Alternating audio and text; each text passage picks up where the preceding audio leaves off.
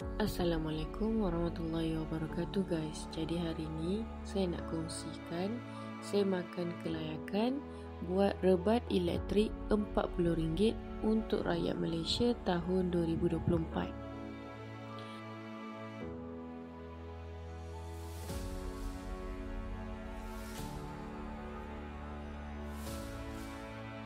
Di bawah Belanjawan 2024, pihak kerajaan telah bersetuju untuk meneruskan pemberian rebat bil elektrik sehingga RM40 sebulan. Apakah syarat-syarat kelayakannya? Ketua isi rumah di bawah kategori miskin tegal yang tersenarai dan disahkan dalam sistem IKASI. Kemudian, pendapatan bagi miskin tekak adalah berdasarkan pendapatan garis kemiskinan per isi rumah yang dikeluarkan oleh Kementerian Ekonomi. Kemudian, apakah kriteria bantuan rebat bil elektrik ini? Pengguna-pengguna elektrik yang layak menerima bantuan rebat elektrik ini adalah KIR atau Ketua Isi Rumah Miskin Tegak yang disenaraikan dan disahkan dalam sistem IKASI. Kemudian, penerima yang layak akan menerima rebat RM40 sehingga 31 Disember 2024. Maksudnya selama setahun. Kemudian, rebat bil elektrik akan diberikan sehingga maksimum RM40 sebulan sahaja. Sekiranya bil kurang daripada RM40, tiada baki akan dibawa ke bulan berikutnya.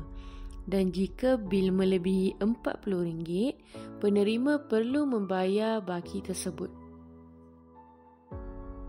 Diingatkan juga, hanya satu akaun bil elektrik sahaja yang layak untuk menerima rebat bagi setiap ketua isi rumah miskin tegar yang berdaftar dan disahkan dalam sistem e-kasih rebat RM40 hanya terpakai kepada tarif A atau domestik sahaja. Rebat RM40 juga termasuk semua jenis charge, contohnya penalti lewat bayar. Rebat RM40 tidak termasuk tunggakan bil sebelum tarikh ketua isi rumah mengemas kini maklumat akaun elektrik. Dan juga rebat RM40 ini hanya terpakai bagi tunggakan pada satu tahun sebelumnya sahaja. Rebat RM40 tidak terpakai bagi tunggakan semasa tempoh ketua isi rumah layak terkeluar dari senarai layak menerima rebat dan juga tunggakan dari tahun sebelumnya sekiranya ketua isi rumah masuk semula di dalam senarai layak menerima rebat. Ini bermaksud sekiranya ketua isi rumah masih layak dan layak pada masa itu, rebat RM40 tidak akan terpakai. Pengguna boleh memilih untuk menukar nombor akaun elektrik yang akan menerima rebat dari semasa ke semasa dengan merujuk terus kepada cawangan utiliti berdekatan untuk mengemaskini nombor akaun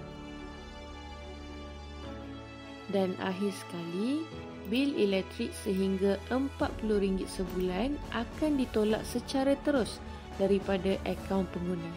Moga bermanfaat.